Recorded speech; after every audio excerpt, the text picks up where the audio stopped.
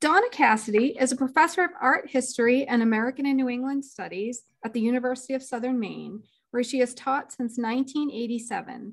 She has published widely on modernism and regionalism in early 20th century American art.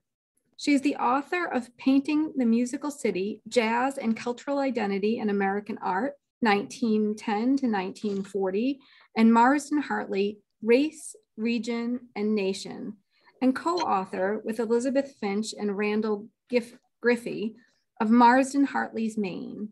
The catalog of the exhibition of the same name, which she co-curated at the Metropolitan Museum of Art and Colby College Museum of Art. Soon to be retired from USM, she is looking forward to having more time to dedicate to two research projects. She is a guest curator for a 2023 exhibition at the Ogunquit Museum of American Art Shifting Sands, Beaches, Bathers, and Modern Maine Art. And she is working on a new book, Looking North, US Artists in Quebec and Atlantic Canada, 1890 to 1940, which examines an unexplored site of artistic interest for early 20th century American artists. I, I didn't bring my reading glasses down, so I apologize if any of that was incorrect. This talk tonight is the, the painter from Maine, Marsden Hartley in Lovell and across the state. Born in Lewiston, Maine, Marsden Hartley gained a reputation as a modernist artist, having spent many years in avant-garde circles in New York, Paris, and Berlin. Yet equally important for Hartley was his identity as a Maine artist. This talk will examine the critical importance of his connections to the state for his art, particularly his summers in Lovell and Stoneham in the first decade of the century. Please welcome Donna Cassidy.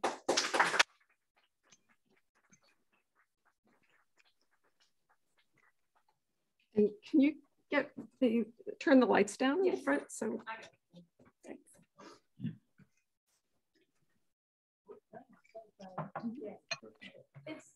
Yeah. Yeah, that's good. I, you know, I, I'm probably don't really need my notes so much. I think I should be fine. Okay. So as Jen said, um, first of all, can everyone hear me? Okay. What, as, as Jen was saying, this is a talk that's going to focus on Marsden Hartley's work in Maine. Um, since I've worked a great deal of time on Hartley, it's going to be a short talk and I'm trying to really focus, uh, focus my discussion and attention. And I thought given the audience here at the Lovell Public Library, that you would might maybe be most interested in his early career and the time he spent here, but particularly the work that he created, um, both in the time he was in Lovell and in Stoneham. But I want to give it that work a little bit of a broader perspective as well by connecting it to his later representations of Maine and the way that this early period really shaped how he thought about Maine. And there are definitely themes that carry over from the early to late period in, in Maine as well.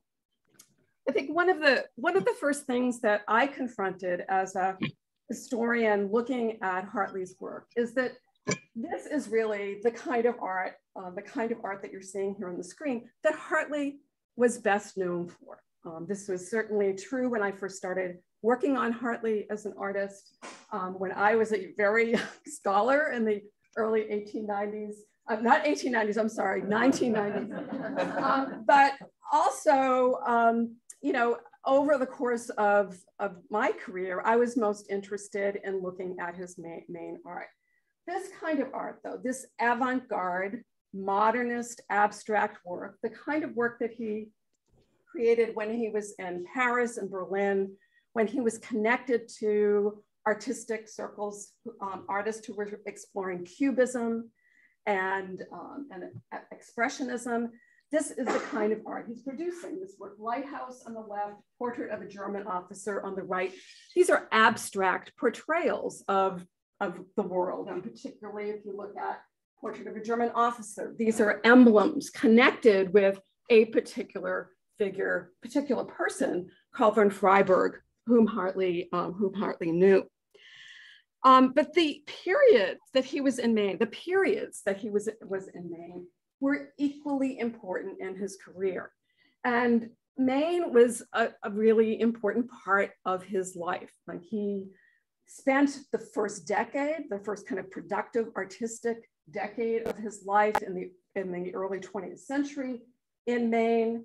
Um, and in late, the late part of his career from 1937 to 1943, he was also primarily working in Maine, creating art about Maine. So his career is really bracketed by these two periods that focus on, in which he focuses on Maine, in which he lives in Maine. And you can see here on the screen, an early self-portrait on the left, um, a later photograph of Hartley when he was living in Corea, Maine. Um, but his connections to Maine were even broader. And I just wanna kind of quickly run through those experiences, those connections, those times he was in the state. He was actually born in Maine. He was born in Lewiston, Maine. Uh, his father was an immigrant from England who came to Lewiston to work in the mills. You see a, a family portrait early on, um, around 1910 on the left. And over, um, over on the right is a photograph of one of the many houses that the Hartley family lived in, um, lived in in the late part of, uh, of the 19th century. Hartley himself, by the way, was born in 1877. Um, so this was one of the kind of early houses, early homes that he had in, uh, in Maine. Um, Hartley's mother died when Hartley was eight years old. And um, his narrative, his kind of family experience um, dramatically changes. Uh, he initially lives with one of his sisters in Auburn, Maine, and then eventually relocates to Cleveland with his father and stepmother, um, where he had his first artistic training. Um, one of the teachers that he had in Cleveland um, saw real potential in Hartley and helped to support his artistic training in New York, because of course, New York was the center of the art world. It was that where art students would go to get the most excellent training during that time period. And he, as a student, um, studied in um, the New York um, School of Art with artists like William, uh, William Merritt Chase. Um, and he also, I think, um, was trained at the National Academy of Design.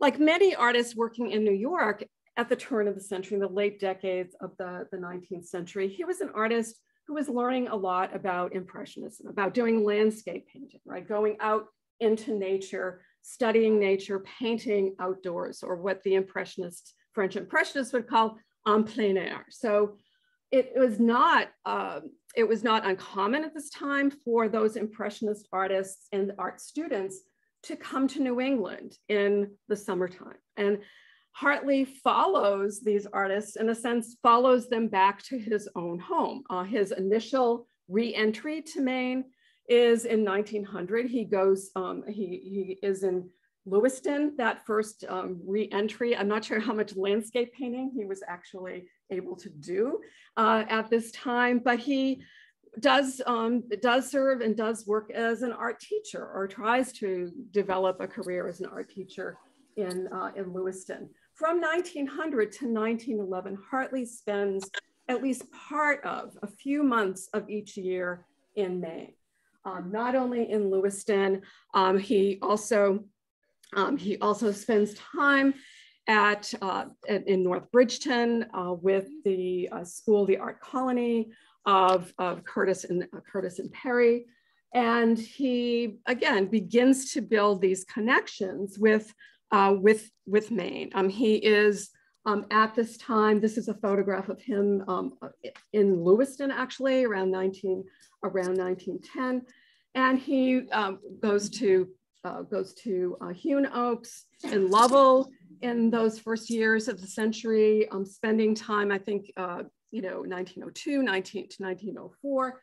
And he is connecting with some of the artists that are in the community here, and particularly Douglas and Marion Volk. And you see Hewn Oaks, an early photograph on the top and a photograph of Marion Volk and uh, Mrs. Farnham weaving. And of course, the Volks were really involved in uh, kind of um, resurrection of folk arts and crafts during this, this particular time period. So Hartley's, you know, coming to Maine, but he is, you know, as a, a retreat from the art world of New York, but he's also encountering other artists uh, when he comes to Maine as well. In 1907, he's in Eliot, Maine, in the Spiritualist Mystical Center at Green Acre. Um, he, excuse me, he also um, of course, spends time in Stoneham, Maine in 19, between 1908 and 11. It's thought that this was the, the hut in North Stoneham that he stayed in all, various times during um, this kind of periodic residence during this, this particular time period. This is actually a uh, photograph from a... Brawl or something, give it a couple days. Excuse? Can everybody mute themselves, please? So at the at the end of um, or 19, 1911, by 1911, Hartley starts career starts to take a different direction. Um, and, and between 1911 and the time he makes his second return to Maine in 1937, he only comes back to Maine for periodical family visits. Um, he does spend a summer season at the Ogunquit Art Colony, and here you have a, a, postcard from the early 20th century showing that colony, particularly the studios of the Robert Laurent group. And in 1928, he spends time with artists like, uh, like Paul Strand and the Zorachs in Georgetown, Maine. And this is a photograph from that time period. But by and large, from 1911 to 1937, Hartley is really an artist on the go. He's traveling, he's a cosmopolitan artist, right? He's working in Paris and Berlin. Um, he's in Mexico and Nova Scotia. He's in different parts of the United States. But by the 1930s, during the Depression, the art world, the New York art world, the American art world, is really creating a different demand on, or presenting a different demand for artists to be more American, right? So it became impossible for him by the mid 1930s to. Hi, how are you? I'm doing fine. Um, can can um, can everybody make sure that they're muted on Zoom? Thank you.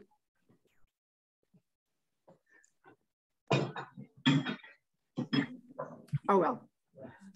Um, so by the 1930s, Hartley is really encouraged um, by his his his patron um, Alfred Stieglitz to really reconnect himself with American places. And so for him, the logical place to go was to return to Maine. So in 1937, until the end of his career in 1943, he spends a good part of every year in Maine, um, eventually settling in Corea, Maine, along the coast, living as a boarder with the young family in Corea at this time. So this is a general outline of, of where Hartley was, his specific connections to Maine, but I really want to look at, you know, what was the kind of art that he uh, was. Donna, can I just? Yes. If you're if you're sharing slides, we they're not changing for us on the Zoom.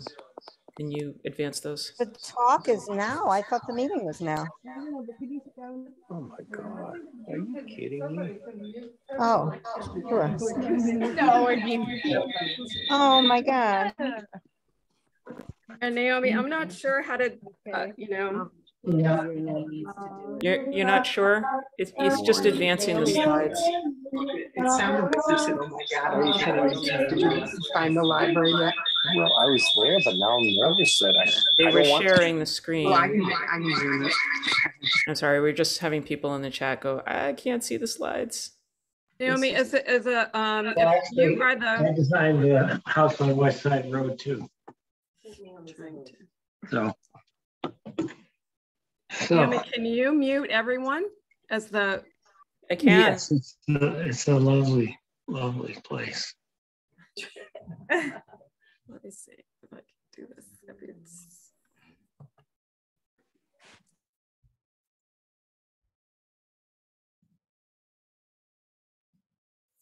I just have to ask you to unmute now, Donna.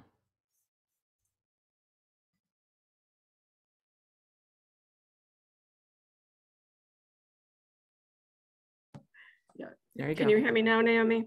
Yes. Thank you. Yikes, like that one.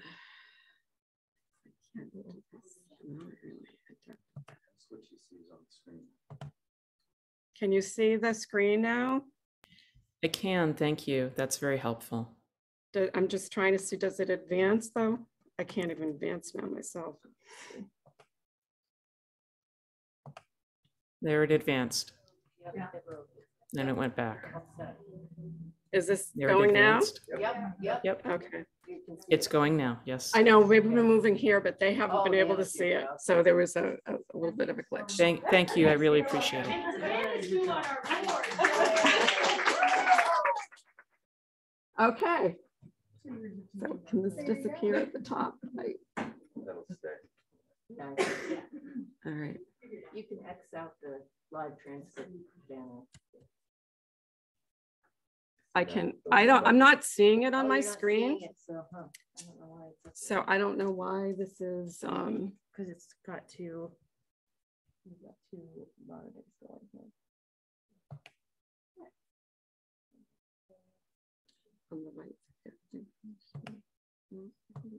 this bar over That's all right, That's good. That's good. So it's not. Is everybody happy now? Yes. Okay, now this should. All right.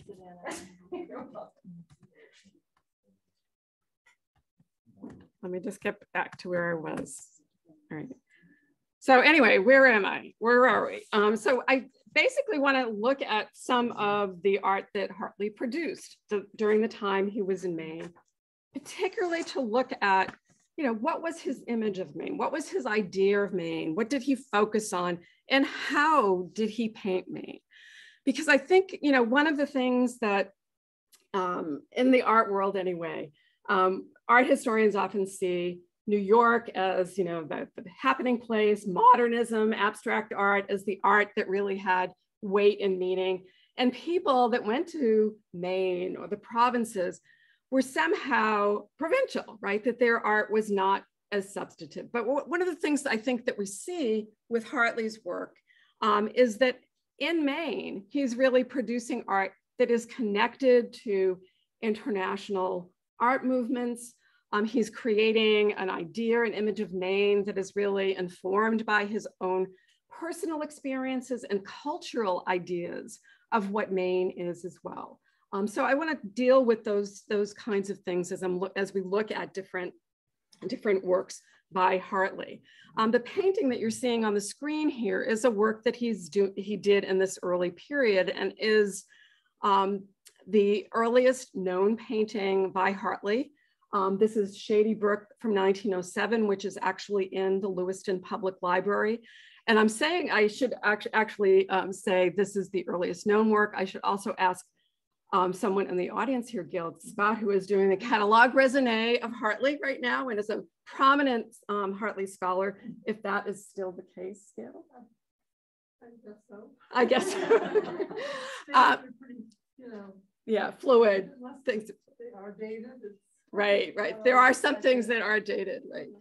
Um, but it, it really, to me, is a painting that indicates where Hartley was coming from in those early years, right? He, as I said, was trained, being trained in New York as an art student. He was being taught by artists who were connected to the realists and impressionist approach to landscape painting. So it's a, a landscape that, you know, isn't crisp, crisply detailed, right? It's not photographic. Um, and that would have certainly been true of the academic styles of the time. Instead, we really see, you know, a style where you can see all the brushwork very evident in the foreground of the painting. It's certainly a work that shows that realist approach, the artist standing before nature, probably painting outdoors and sketching very quickly what he sees. This is a painting that um, certainly doesn't show the brilliant outdoor colors of Impressionist art, but it is that realist Impressionist tradition that I think he's really drawing from in this, in this painting. Even compositionally, it's very much like this painting by Dennis Miller Bunker uh, called The Pool in Medfield from 18, 1889.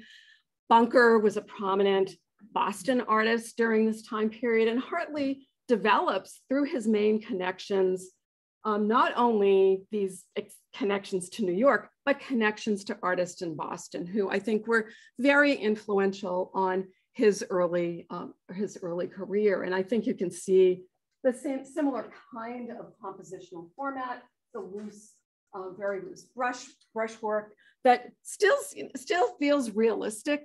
We can still identify the scene. It's a scene that has a sense of depth and space to it, um, but we're getting to a style that is less crisp and detailed, which was the academic style common in the 19th century. The style that Hartley, one of the styles that Hartley really develops in his time in Lovell and Stoneham is very much exemplified by the painting that you're seeing here on the screen, Carnival of Autumn from, from 1908 it is a painting in many ways that's beyond Impressionism. It's not just about describing what the artist sees in a kind of sensory, momentary um, capturing of light and atmosphere.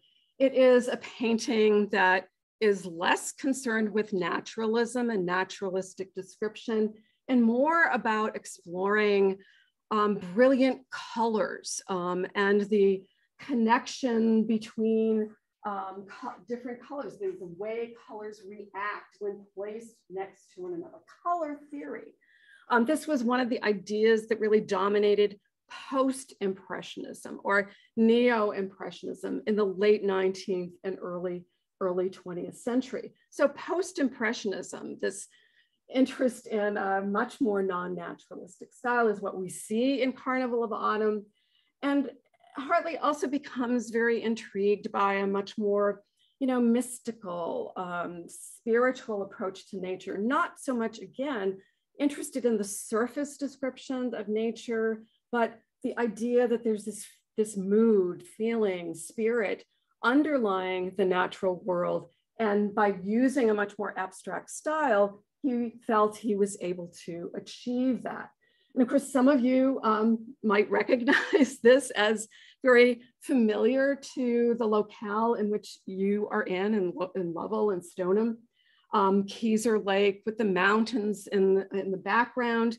But you can see the way that Hartley here is not, I mean, this is a work by Willard Metcalf, which is a, he's a very typical impressionist artist.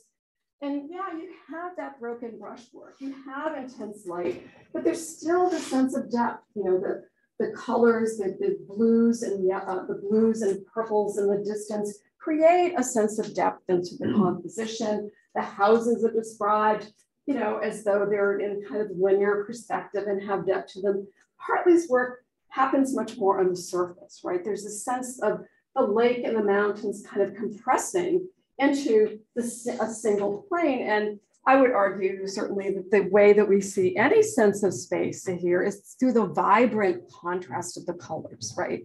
The yellows jumping out, the blues receding, and that, that kind of tension. Uh, there's really, you know, not that same kind of depth. And again, that brings us to, you know, his interest really in a much more post-impressionist style and not so much that naturalistic based style of, um, of, of Metcalf and other impressionist artists.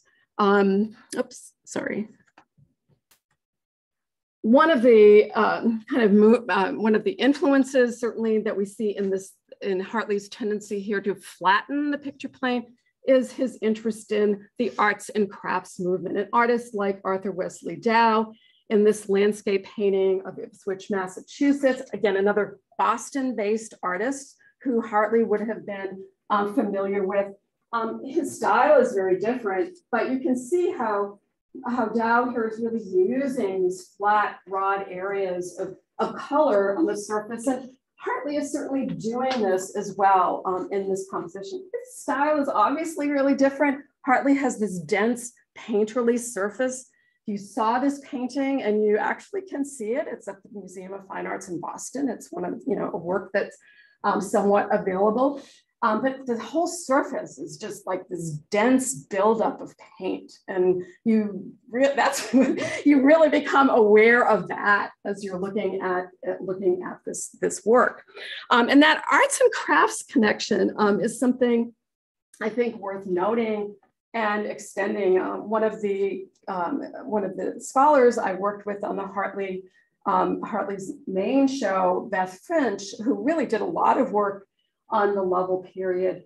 Um, Beth argues that, that these early works are, in a sense, very similar to the weaving that um, Marion Volk did, and Hartley's interest in, in, in looking at that process of making textiles that he would have encountered in, at Hewn Oaks. And it's something that Hartley, um, you know, commented on later, and you certainly get a sense of that dense surface and the layered, and the, almost the way that the brushwork kind of inter, interweaves um, one with the other. And that really connects with, you know, another source often identified um, for Hartley during this period, and that is the Swiss um, post-impressionist or neo-impressionist um, Giovanni Segantini.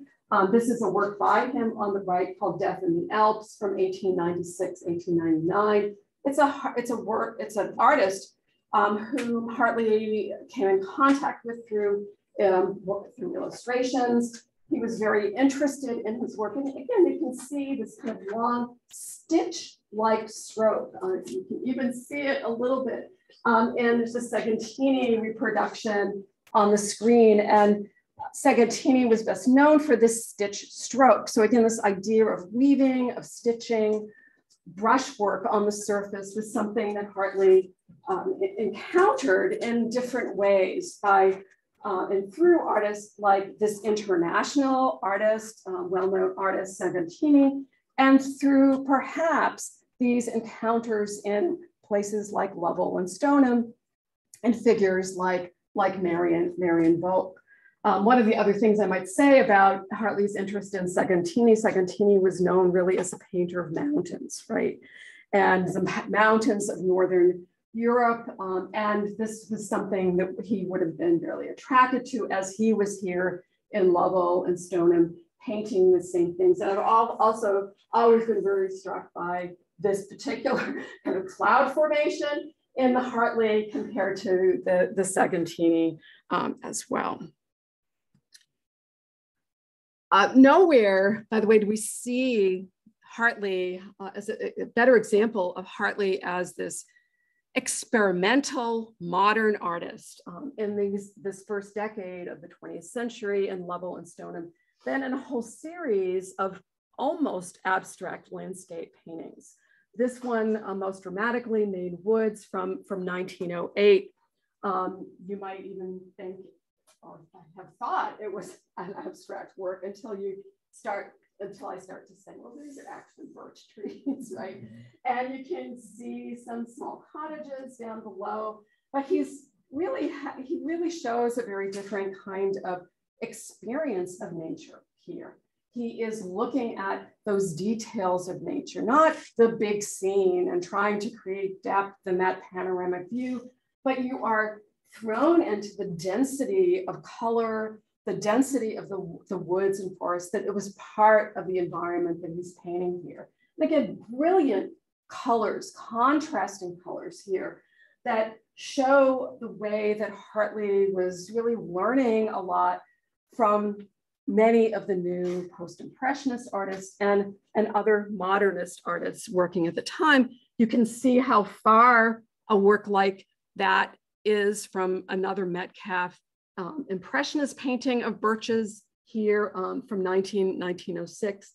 And again, you can see the way that Hartley's really through these Maine works of the early part of the century, really throwing himself into this world of avant-garde art. This is a, another work that he did in, uh, in Lovell, Stoneham area in the first decade of the century called Autumn Cascade.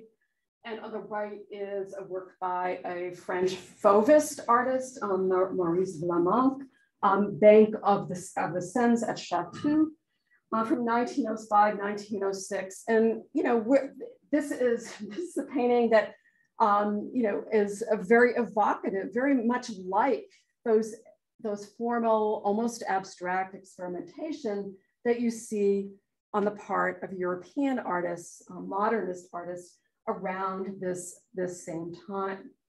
Um, so these, you know, these, these early works, um, they're really showing the way that Hartley's embracing nature in Maine, the power of nature, the mysticism of nature, um, trying to create paintings that more, are more about the experience of being in nature and not just describing the natural world, but what is it like to be in these spaces and trying to create, uh, and if not evoke um, the way or evoke that feeling in the colors and the forms that he is using. And we certainly see that in another work, uh, not the brightly colored autumnal scenes, but the darker tones that you see, that we see in a whole series of winter nighttime paintings that he does in Lovell and Stoneham as well. This is Winter Chaos Blizzard from 1909. And again, we're thrown into this, this painting in the midst of sweeping and curving lines and the, the tumult of the brushstroke, the swirl of the brushstroke um, throughout the composition. He is trying to evoke here what it's like to be in a blizzard, not, not describing it, but the feeling of it, an equivalent really of being in that natural experience, that natural environment of winter, of winter time. And I think, you know, what we, as I said, what we see in a kind of whole series of these early, um, these early Lovell Stoneham paintings is a darkening of the palette. And, you know, this gets to another point about Hartley's Maine works. I mean, Hartley had a very, you know, ambivalent, had very ambivalent feelings about Maine. He loved it. He hated it. He had lots of, you know, personal uh, experiences like, you know, the death of his mother, the, the rupture of his family. He certainly um, also, as a young gay man in Maine, may have um, experienced a sense of being on the outside of, of being here as well. And of course, Maine in the late 19th and early part of the century was a state in decline. Economically, I mean, the mills were changing, um, the farmland was being uh, was being abandoned. Um, farmers were, you know, out migrating to um, to the Midwest, where land was much more, uh, much more uh, available. Um, industrialized agriculture was much more common. And so Maine was really kind of a depressing place to be at this time. And you have this image of a, a Maine in decline, a New England in decline um, during this time period as well. And it's no surprise that we find another kind of theme, another way of looking at Maine during this time period in a whole series of landscapes that have become known or were known even at the time as the dark landscapes. Um, these are, again, paintings that were inspired by his experiences in Stoneham. Um, he wasn't painting directly in front of the landscape here. He wasn't doing what the Impressionist landscape painters did, going and painting on plein air.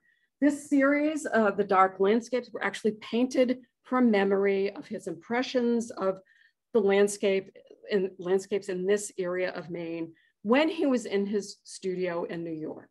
So these are landscapes of memory, landscapes of the imagination, and not, the, again, those kind of descriptive landscapes of nature. The dark mountain of, of 19, 1909, I think really embodies that, that mournful um, bleak quality of, of life in Maine in this time period. And he has this, you know, this wall of the mountain that just really comes up and creates a kind of curtain or cloak of darkness and that really fills almost the entire canvas.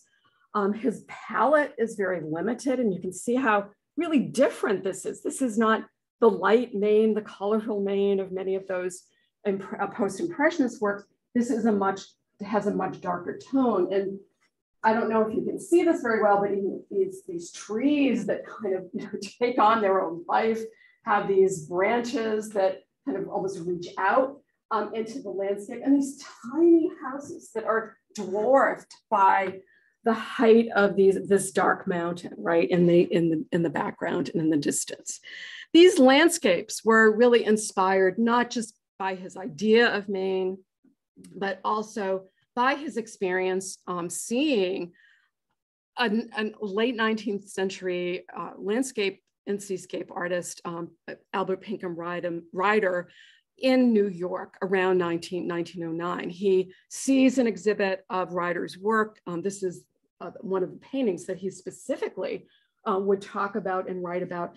And Ryder worked with this, these dark, um, these dark tones, um, limited palette, and there's uh, kind of almost a, you know, a haunting quality um, to the landscapes that he that he produced. And so you can see the way that this is a, a strong inspiration uh, for Hartley in this series of, of uh, dark landscapes from the um, late late part of the first decade, from 1909 to 1910, that he's working in this particular manner. This is another example, Deserted Farm, that explicitly through the title identifies that experience, right, of Maine with the outmigration of farmers, um, the uh, even the outmigration of people um, away from the centers of, of industry as well as agriculture during this time period. And we see some of that same compositional structure, that, that wall of dark mountains, the small houses below that, that are really dwarfed by um, almost, um, you know, weighted down by the, the darkness of, of the landscape as well. Before I leave this early period, I want to just also introduce a, a couple of other themes or another theme that was part of Hartley's early period. He did, in a series of drawings of this time, focus on people, um, the folk, um, the people of Maine, um, here are two examples. Um, Hartley's Old Maid Crocheting from 1908, an old man in a rocking chair on 1908 as well. And you know, you can almost see that he's translating here into pencil, right? That style of his painting. And it to me, it always looks like a, a parallel even to someone like Van Gogh, you know, those long streaks of color that are here, that frenetic brushwork that's translated into this very frenetic and energetic uh, pencil work in these in these particular uh, portraits, so these particular paintings. They're not portraits of anyone in particular. They really, though, are very much exemplary of regional types during this time. The spinster, the old woman, the old man. I mean, there are paintings and photographs of New England and Maine in the late 19th and early 20th century that again suggest the decline of this place through these old, the old age of its inhabitants or the conservative nature of the inhabitants. This is a, a photograph by Wallace Nutting trimming the pie crust. Nutting did all sorts of these kind of colonial women, right? in the interior, um, not unlike the old woman crocheting that we see in Hartley's uh, drawing. Or Eastman Johnson, uh, another Maine-born artist here, um, in this case painting Nantucket School of Philosophy from 1887, all these old New Englanders sitting around and you know trying to purvey or talk about wisdom, um, and they really exemplify an old way of life. Uh, New England and Maine um, during this time was really, you know, seen to be a place that was in the past, right? It wasn't seen to be part of a vital America. Um, and this is something I think there's a flavor of this in these works and certainly in Hartley's drawings. Although among these drawings that he does, he also presents, you might say, a different type for the Mainer, uh, for the New Englander. And that's certainly evident in this drawing of chopping wood, also from 19, 1908. The kind of physical, masculine, vital um, worker, right, that the folk that becomes a, a part of his writing, um, a part of his um, early drawings. He is, um, by the way, Hartley would go on later to write about uh, Wesley Adams, one of the woodsmen of, um, of I think it was, uh, was of Lovell. Around this time, he met him and greatly admired um, him as an individual and his dedication to this physical way of life. And again, this sense of um, celebrating this kind of physical masculine vitality. Um, historians have also connected to his um, the fact that Hartley was gay and had a kind of attraction um, to this powerful physical men that he encountered in Maine, both in the early and later part of his career. But he is kind of proposing a different type, a suggestion of an alternative to the old men and the old women um, in the chairs that he is also drawing this time. And again, this gets back to another point about Hartley, and that is that for him, Maine was not just one place, it was multiple places. It was both a positive and negative place. It was filled with light, it was filled with darkness. It had this, you know, conservatism looking back to the past, and it also had this, this powerful, vital folk. And this, these are the kinds of parameters, these are kinds of ideas about Maine that he really sets out in the early part of his career when he's in Lovell, when he's in Stoneham. And it's a Maine that he would reinvigorate and reconnect with in the later part of his career. So in the last couple of minutes here that I, I want to talk, I just want to show you the way that this early period um, is a period that would really shape Hartley's later representations of Maine.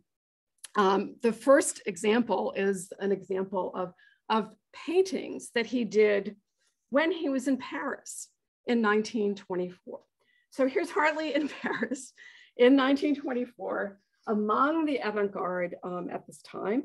Um, but he did a whole series of landscape paintings that included works like these, these paysages, um, the landscapes that are Maine landscapes. They are very much like those dark landscapes, right, that he, that he painted in 1909, 19, through 1911, when he was in, when he was in Stoneham. He's in Paris and he had photographs of some of these, these paint, earlier paintings. And he's being encouraged, certainly by the Parisians, by art critics there, who are say, asking you know, him to do something American. He is also being very much encouraged by some of his close colleagues, uh, not least of which was Alfred Stieglitz, his patron, but also one of the leading critics of the Stieglitz Circle, to which Hartley belonged, right? Um, the critic Paul Rosenfeld in 1924 writes a chapter about Hartley in his book called The Port of New York, calling on Hartley to make those reconnections back to Maine. And so, you know, there's this confluence of things um, in, when he's in Paris that move him back to recall, to recollect those earlier works and that earlier time period in Maine. Um, and this connection back to Maine and this, you might even say, demand on uh, the part of critics and patrons that Hartley make those reconnections back to Maine is something that would become, um, you know, would become inevitable for him in the 1930s. Again, in the context of the Depression, when so many artists were reconnecting with American places, finding their roots again. Uh, the very famous uh, regionalist artist of the 1930s, Thomas Hart Benton, who was primarily a New York artist until 1936. And he said, I'm going back home to Missouri. And this kind of exodus from New York was really typical of the time. And Hartley kind of joined that group of, of artists who were connecting, reconnecting back with their their native, native lands. So Hartley from 1937 to 1943 really makes a name for himself as the painter from Maine. And he was very um, conscious about doing that. He did it in many ways. He wrote a lot about Maine. He published poems about Maine and created lots of works that um, were both similar and different from those earlier paintings that I just showed you.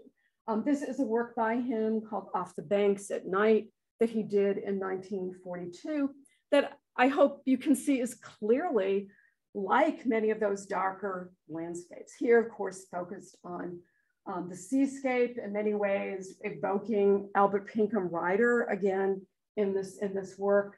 Um, it is a dark landscape, a dark seascape with mournful, um, mournful colors. Um, it is also a seemingly very dangerous landscape. Uh, these rocks here that have these pointed saw-like edges to them that, um, that really speak to the destructive force of, of nature. So um, it's a work, as I said, this is a mournful painting, and in many ways, it's a painting as much about Maine and the coast and the dangerous life of, the, of fisher folk as it is about his earlier experiences in Nova Scotia, where he lived with a family, um, two of the sons of the family and their cousin were drowned.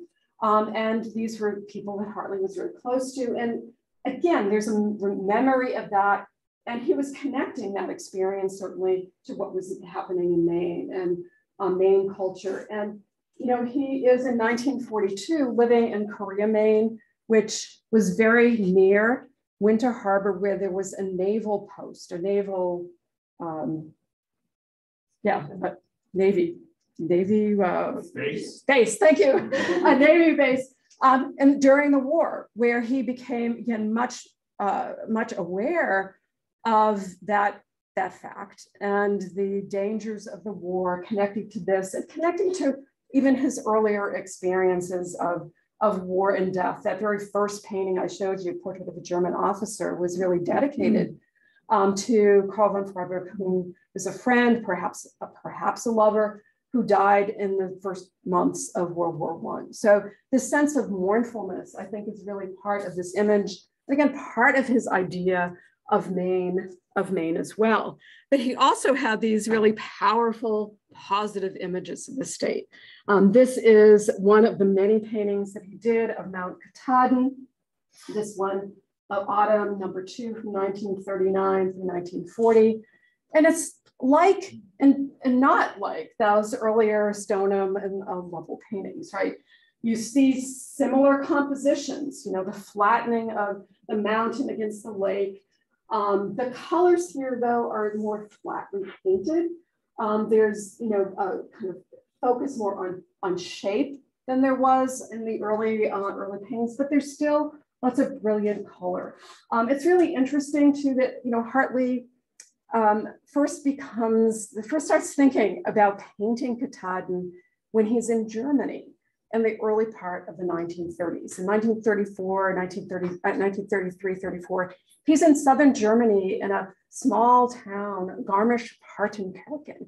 And when he was there, he, you know, he's in this alpine village where you walk the streets and the, the mountains surround you. And it would have evoked those earlier times in, in Lovell and, and Stoneham and had him thinking about other places and projects that he could work on um, as part of his painting. And so when he comes back to Maine in the late 30s, um, he, he turns to Katahdin. And Katahdin had lots of historical associations connected with Henry David Thoreau, um, connected to um, Abenaki, native culture in, in the region. These were things that Hartley himself noted, who wrote about these connections and saw himself as part of that tradition as well. Um, I love this photograph of him that was in the Bangor Daily News in 1940. I'm standing with exactly that painting that I just showed you. Um, and he's here. And showing himself not as that cosmopolitan artist, right, um, in Paris. And he's showing himself really as one of the Maine folk, right? He's got this flannel shirt on, standing next to Katahdin. He's identifying himself with Maine as place. This was very much a, a part of his late project, his project from 1937 to 1943.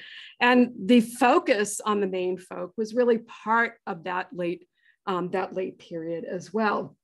This is one of the many paintings of, of the folk that he did at this time. Um, here, Young Hunter hearing Call to Arms from around 19, 1939, um, focusing on, again, aspects of regional culture here. This is a work too and subject that harkens back to those early 1908 drawings that I showed you, focusing on the folk, the strength, the masculine vitality. This is a blocky figure, thick neck, broad um, geometric face here. Um, look at those hands. You know, these are, you know, not delicate hands, but really, you know, massive fingers, massive hands. Um, he has a L.L. Bean hunting hat with him on the side. Although this is, a, this is also a painting that's very evocative. It's blonde and blue-eyed. He's got this shirt and vest on that evokes kind of, um, you know, Germanic folk attire.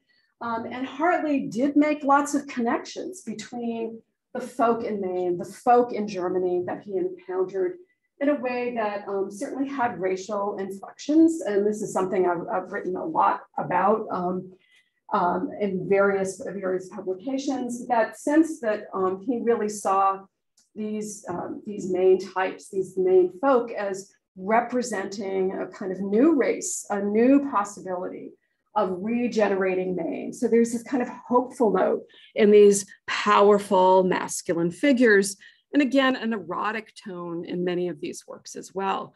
Um, this is a, a, work that was uh, a lobster fisherman that he did in uh, Corea, Maine, and focusing on these massive, muscular, uh, blocky. You don't really see their muscles here, but they're blocky, they're big, they're kind of massive um, figures in shape, and even kind of, you know, showing off their their physique, this uh, arms akimbo, um, presenting themselves on the deck here and um, particularly that figure on the left who seems over life size mm-hmm. um, compared to the other figures. And the last figure that I will show you is, remains one of my favorite. Uh, and this is um, Canuck Yankee Lumberjack at Old Orchard Beach, Maine from 1940 to 41.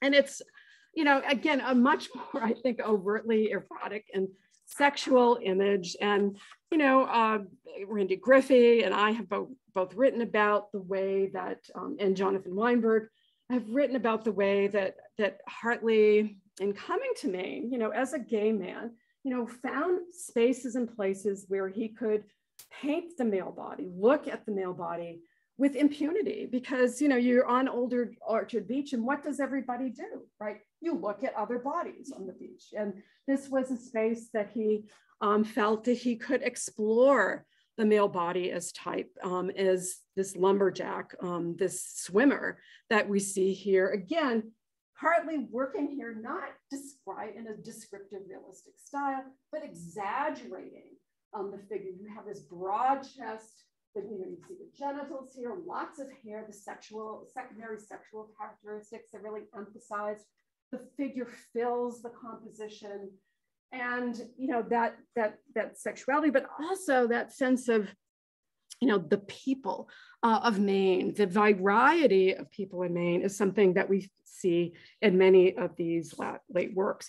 I want to add too that, you know, the Old Orchard Beach at this time was really known as the Coney Island of New England, where the, you know, it's kind of risque behavior. And, you know, you get a little bit of this in this work. And Hartley uh, wrote to a friend in 1938. He said, I do want so much to swing out a little in August and go down to Old Orchard for a few days, as it seems too bad not to enjoy so lovely a spectacle as that five mile beach covered with handsome humanity. And you get this sense, certainly, um, in this particular painting of exactly what attracted him um, to, to this place. So, this is just a little bit of a flavor of, of Hartley's work, um, the range of work that he did over, over his career. um, the way that his experiences in, in Maine were really um, strongly grounded in that first period um, in, from 1900 to 1911, in which he sets out to be an artistic experimenter, um, someone who explores Maine as a subject matter. And this is certainly something that would continue to interest him throughout his career, and particularly that late period when he made a very strong effort to identify himself as the painter from Maine. So that's it. Thank you.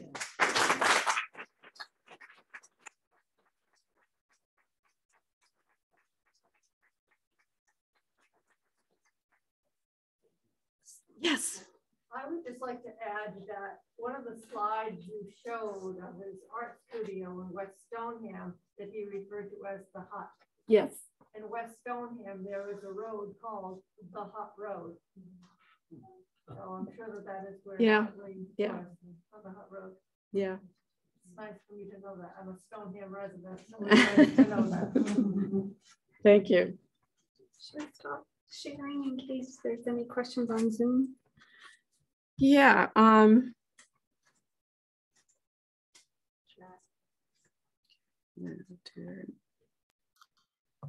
If you have a question on Zoom, perhaps you could drop it into the chat. that would be, that's a good idea, Naomi.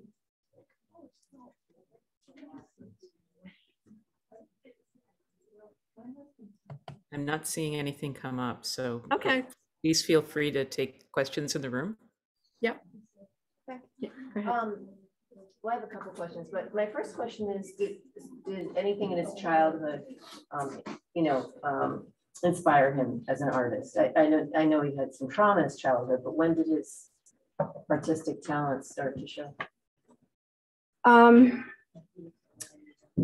from my understanding, it's really when he's in Cleveland um, and he begins to become interested in art at that point. I don't know, Gail, if you have any more insights during. Um, you know, he, his autobiography talks about sketching, um, And uh, but it's, it's In Lewiston. after Cleveland. when Yeah. comes back. yeah, Um, but it, you know, in the environments of Lewiston, you would find, uh, you do sort of botanical studies of Yeah. little insects and butterflies. Which is really typical, these kind of botanical studies and as a way of learning about art during this time. And I'm also remembering that one of the things he talked mostly about was reading, like going to the Lewiston Library when he was a young kid. So, you know, he, Hartley does have this really, um, you know, poetic style or side to him, right? Um, where he he has he wrote poetry throughout his career in life. He wrote essays. So he's you know he has that identity as well, um, and that reading part of him is something that I think also very much informs his work. I mean that that interest. Um, one of the one of the things he talks about as again in his autobiography as being a moment of great inspiration was reading Emerson, you know, Ralph Waldo Emerson. So it's kind of interesting to think about that, you know, some artists are really influenced by something visual that they are seeing, but also, um, and I think this is especially true for Hartley, there's this interest in the word and how that kind of shapes the way he begins to think about his art. And uh, there's always this reading the letters. I mean, there's, you know, there are always these you know, books, I'm reading this, I'm reading that, as much as there is about I'm seeing this and seeing that mm-hmm. as well. So he was able to support himself through his art. He was kind of able, mm-hmm. I mean, not really. I think, you know, by his late career is really when he becomes most successful in a way. And that lobster fisherman painting that I showed you, he won an award at the Met Museum, a Victory Medal Award. Um, he actually had money in the bank when he died. Um, this was not, this, there was a real struggle always for him, I think. And uh, tension between him and his, his major patron, which was for many years Alfred Stieglitz, who even in the 1920s was beginning to encourage him to come back to Maine because modernism, the Stieglitz circle that, that Hartley was associated with, the artists that were associated with this group in the teens, by the 20s, they really begin to start painting modernist realist, I mean, you know, realist representational subjects, but um, but also recognizable. So you have artists like Georgia O'Keeffe, for example, who's also part of the Stieglitz circle, whose, whose works in the teens are very experimental. By the 20s and certainly by the 30s, she's painting, you know, New Mexico. Um, the 30s, the 20s, she's of course doing a lot of experimentation. She's actually in York Beach, Maine. She's in the Gaspé, but she again identifies herself with place. Or someone like John Marin, um, also a member of the Stieglitz group, very stylistically experimental, almost abstract, works in the teens. By the 20s, he's connected to Maine or connected to New York City. And the, you know, Stieglitz is able to sell him in that way. I mean, was a big, you know, he was able to sell one of Stieglitz, I'm sorry, one of Marin's watercolors in 1925 to Duncan Phillips for like five or six thousand dollars, which is quite a lot, quite a lot of money at that time. So, um, so there was this this tension always. And Hartley would kind of say, okay, yeah, maybe I'll come back to New England. He did come back to and spend some time in Gloucester in the late in the early 30 early 30s, but he, you know, he's happier in some ways, not in the United States, but he was also not always a happy person. He was, you know, he my, the, the kind of pattern was he'd move someplace new, um, really love it, do some work, and then say, "Oh, I can't stand this place anymore," and like move on, move on. So there, there's that pattern, and I think um, that that was not kind of sustainable in some ways. But he did manage to get support from Stieglitz and other patrons. The 30s, he was much more successful because his work somewhat aligned with larger interests in the culture and in the art world of the time as well. I want to say, you know, he just had really bad luck too. You know, he did all these German officer paintings in 1914 and 15 when he was in Berlin, which were really, really fabulous paintings. But then he brings, this is the middle of World War One brings them back to New York and tries, hmm. you know, there's no audience. There's, you know, so there, there are these, there are a number of these moments throughout his career where there's, you know, there, whoa, it's just not working out, working out for him. Yeah. Did the Volks, did the Volks entice him to come to that why he came here? I don't know that, I think he is, began to explore the region initially uh, in, in um, North Bridgton uh, with, um, with Curtis and Perry and their, their art colony there and I think he just came he came back the next year. He began to like this particular um, area. I don't know if the Volks deliberately enticed him, but he, they, he certainly encountered them here when he was when he was here. Notes on the artists that were there at. Are there notes on? on oh, I don't know. I haven't done enough work in depth on the the Hewnoaks colony. Um, I was at an auction when they sold all of the content, and the auctioneer had found a, a Milton Avery drawing stuck yeah, yeah, under the steps yeah. of her. So yeah. most likely he was there, and I just wondered if other. I haven't looked deeply enough into the into the papers, and uh, there are some Volk papers at the Archives of American Art, but I haven't looked in great detail at them.